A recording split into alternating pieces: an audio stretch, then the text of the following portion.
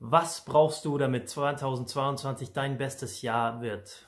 Das erfährst du in diesem Video. Willkommen in diesem ersten Teil meiner Serie Countdown, die Top 10 Punkte, die wir absteigend miteinander durchgehen von heute, 22.12. bis 31.12.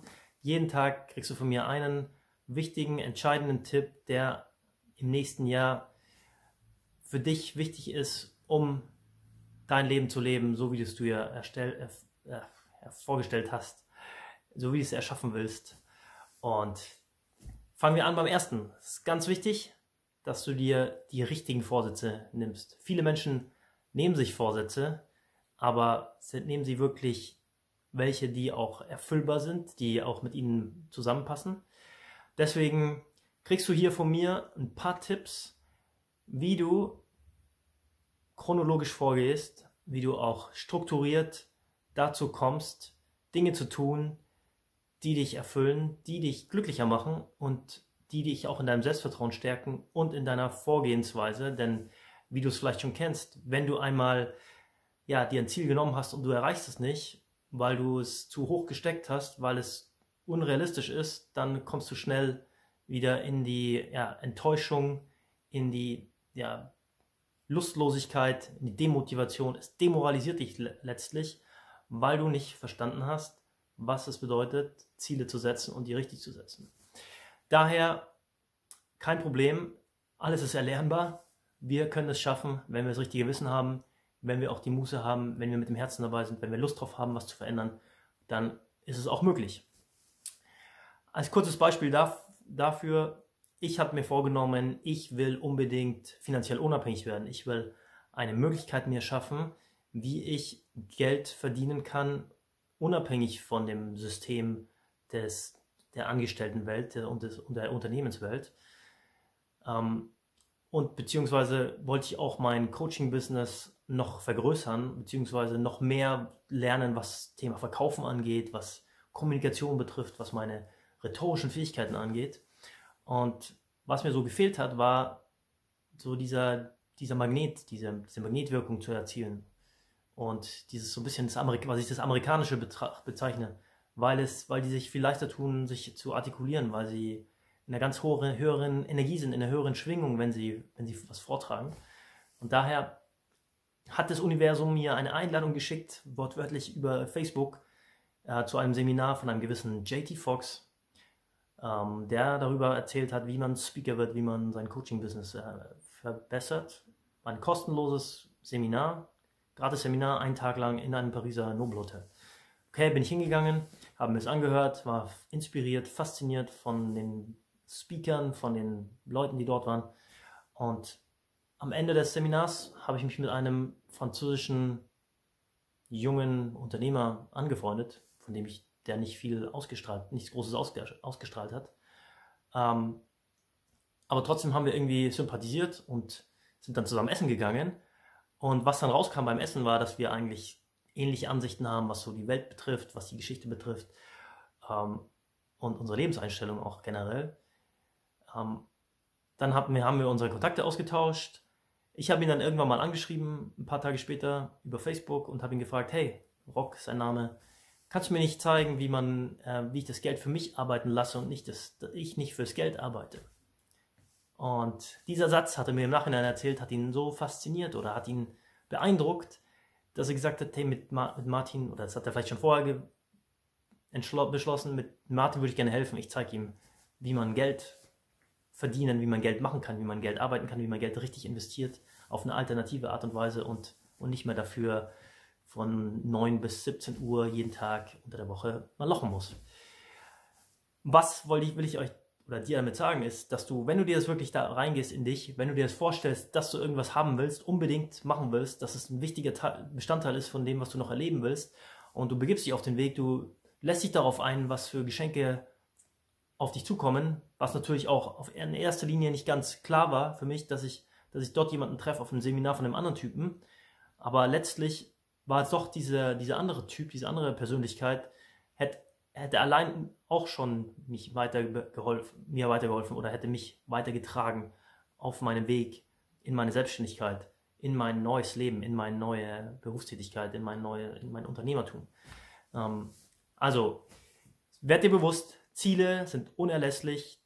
Deine Visionen zu leben ist das Schönste, was es gibt. Und daher kurz eine kleine Anleitung. Die kriegst du übrigens auch von mir nochmal schriftlich, wenn du mein Instagram, auf mein Instagram-Konto gehst. Kannst du auch gerne abonnieren und schickst mir eine persönliche Nachricht mit dem, mit dem Wort Ziele. Dann schicke ich dir auch gerne ein kurzes, eine kurze Anleitung als PDF. Also, was gibt es zu tun? Erstens sind wir am Ende des Jahres. Ganz wichtig ist, dass du in deine hohe Energie kommst, dass du in eine hohe Energie schwingst. Überleg dir fünf Dinge, die du in diesem Jahr geschafft hast.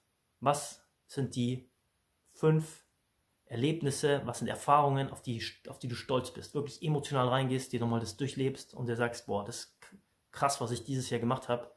Unglaublich, stolz auf mich. Yeah, High Five.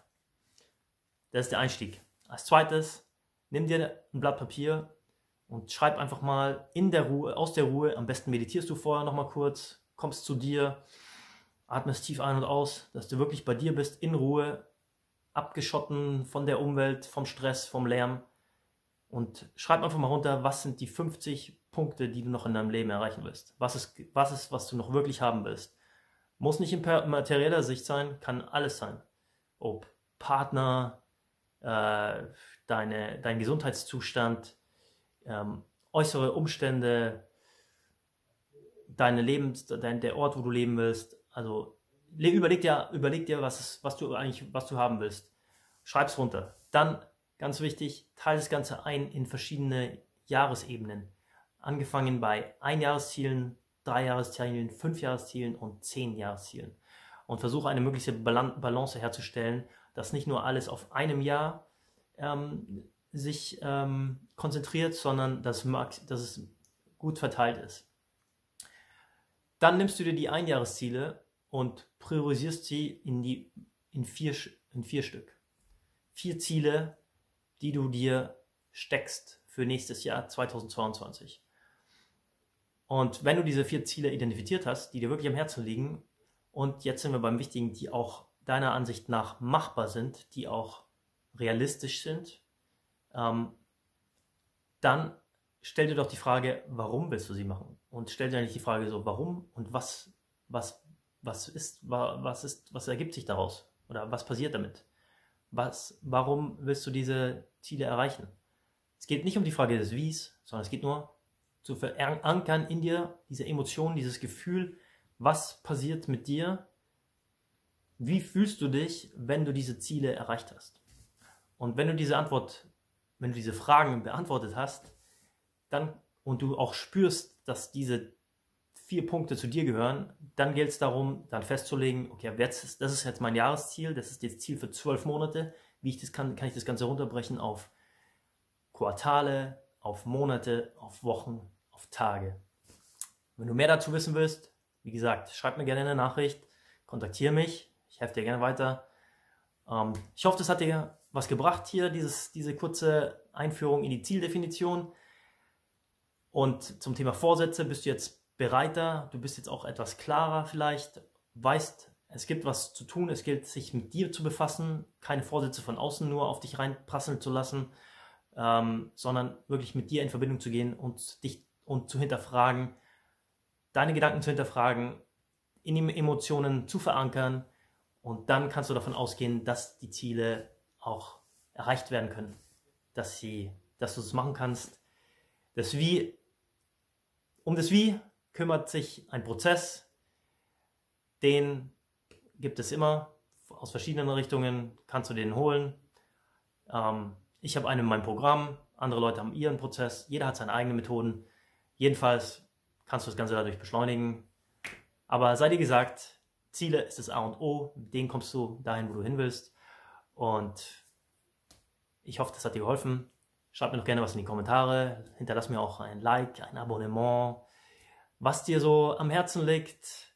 Ich wünsche dir noch einen schönen Tag und wünsche dir alles Gute bei deiner Zieldefinition und viel Glück und viel Kraft für 2022. Danke fürs Zuschauen, dein Martin.